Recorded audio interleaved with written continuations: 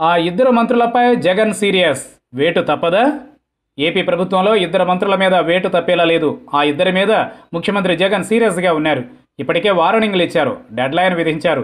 ముందు నుండి చెబుతున్నా పట్టించుకోకుండా వ్యవహరిస్తున్న మంత్రులకు సీఎంఓ నుండి ఒక్కొక్కరిగా పిలుపు వస్తోంది. ఇప్పటికే ఆ రకంగా పిలుపు అందుకుని ముఖ్యమంత్రికి కొందరు సంజయ్ శ్రీ ఇచ్చుకోవాల్సి వచ్చింది. ఇదే కోవలో ఇద్దరు మంత్రుల శైలిపైన మాత్రం సీఎం జగన్ బాగా సీరియస్ అయినట్లు విశ్వసనీయ సమాచారం. దీంతో ఏ సమయంలో అయినా వారిద్దరిపైన వేటు వేసే అవకాశం ఉందంటూ సచివాలయంలో జోరుగా ప్రచారం జరుగుతోంది. కోస్తా ప్రాంతంలో కీలకమైన ఆ జిల్లా నుండి ఇద్దరు మంత్రులు ప్రాతినిధ్యం వహిస్తున్నారు.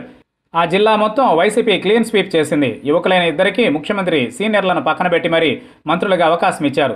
పార్టీ పట్ల వారి నిబద్ధతను గుర్తించి కీలక పోర్ట్ఫోలియోలు కేటాయించారు. మంత్రులు ఎలా ఉండాలో తొలి రోజు నుండి ముఖ్యమంత్రి చెబుతూనే ఉన్నారు.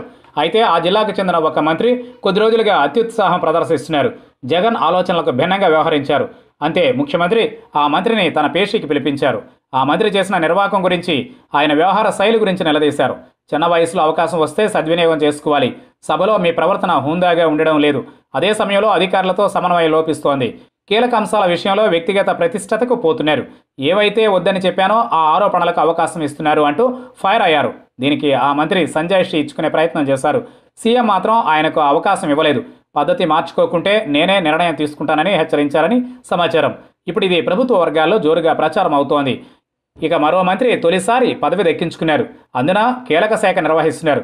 ఈ రెండు నెలల కాలంలో ముఖ్యమంత్రి నుండి పరోక్షంగా ఒకసారి హెచ్చరికలు అందాయి. అయినా తీరు మారలేదు. దీంతో ముఖ్యమంత్రి నుండి తాజాగా సీరియస్ వార్నింగ్ వచ్చింది. కీలక శాఖ కావడంతో పాటుగా సమీకరణాల్లో భాగంగా ఆ పోర్ట్ఫోలియోను అప్పగిస్తే ఏం జరుగుతోందంటూ నిలదీశారు. ఇప్పటికే ఆ మంత్రి వద్ద మాజీ అధికారిని సమన్వయం కోసం నియమించాలని నిర్ణయించారు. ఆ మంత్రి కుటుంబ సభ్యుల జోక్యం ఏమాత్రం ఉపేక్షించలేని స్థాయికి చేరిందని ఆగ్రహం వ్యక్తం చేసినట్లు సమాచారం. అయితే ప్రభుత్వ ఇమేజ్ సమీకరణాల కారణంగా వెంటనే చర్యలు తీసుకోవడానికి సీఎం ఆలోచన చేస్తున్నట్లు విశ్వసనీయ సమాచారం.